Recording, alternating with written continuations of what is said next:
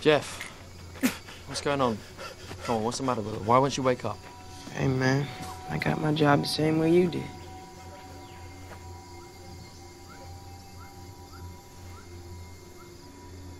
Did you recognize her? No.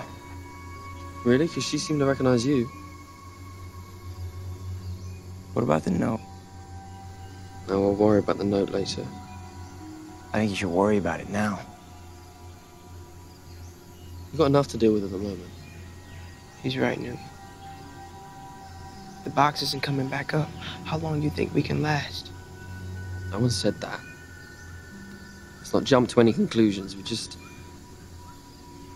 We'll just wait until she wakes up and see what she knows. Somebody's got to have some answers around here. Okay. Well, where are you going? Back into the maze.